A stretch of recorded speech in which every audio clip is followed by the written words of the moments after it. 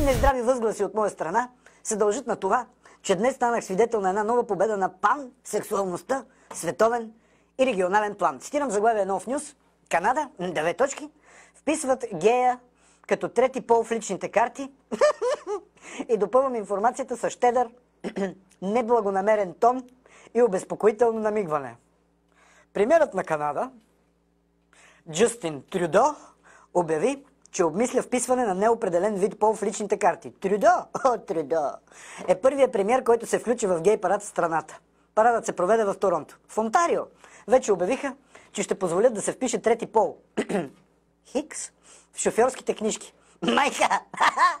Педерастите се пребориха за независимост. Вече и на административно ниво. Честито!